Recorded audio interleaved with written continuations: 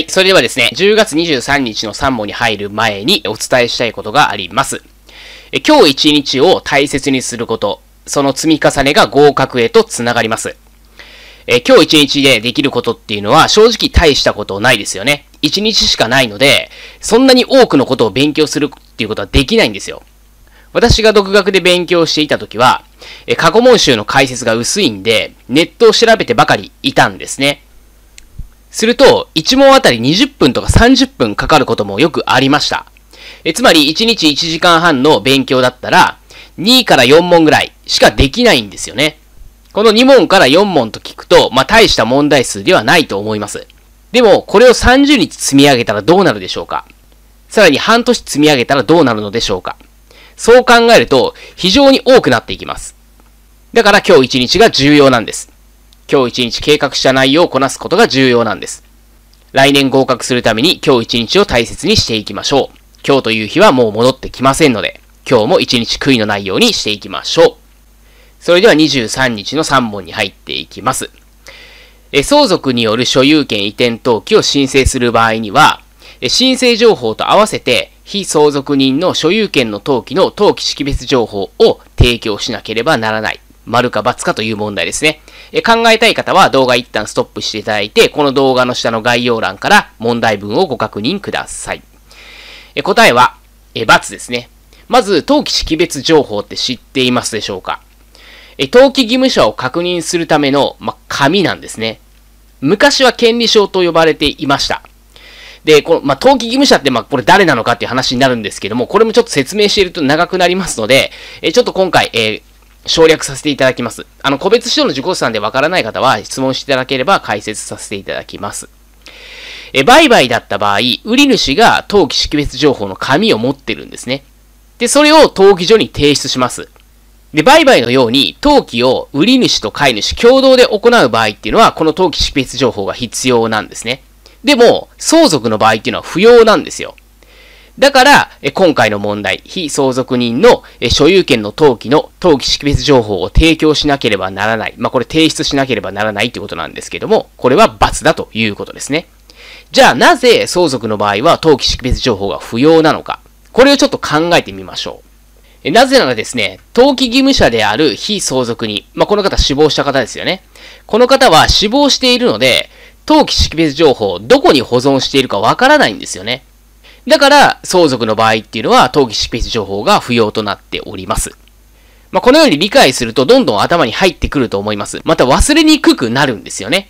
まあ、今回は、えー、理由をね、え解説させていただいたんですけども、市販の、えー、解説書だったりとか、えー、あと、過去問の解説とかですよね、には、ここまで載っていないと思うんですよ。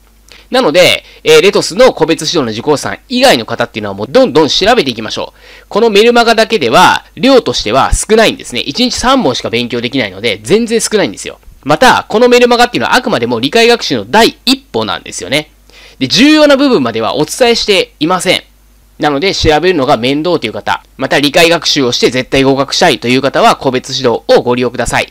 え個別指導ではわからない部分は無制限で質問を受け付けています。また、え返信も他社よりも全然早いです。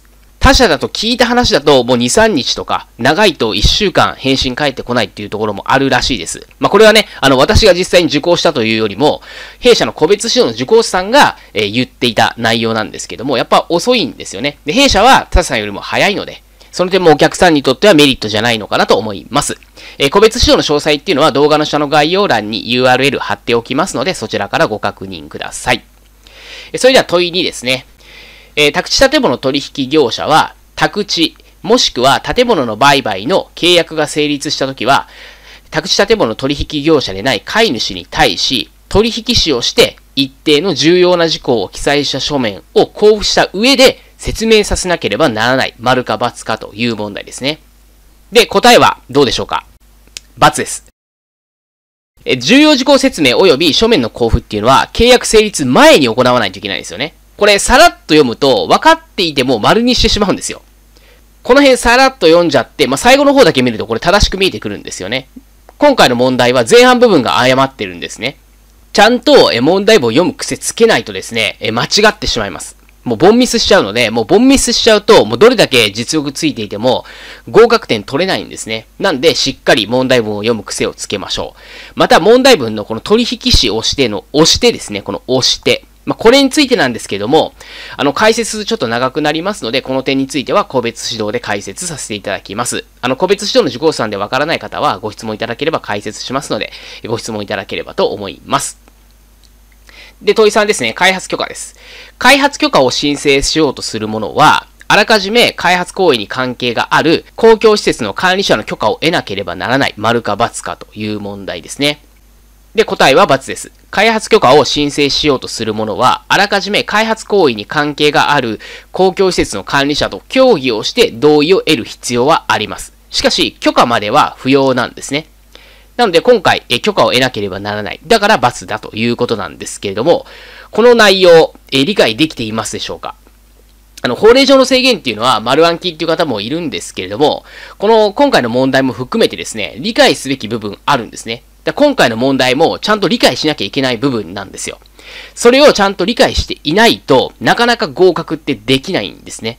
まあ、だから弊社の個別指導では法令上の制限についても理解ができるように解説をしています。なので来年絶対合格したいという方は、ぜひですね、個別指導ご検討ください。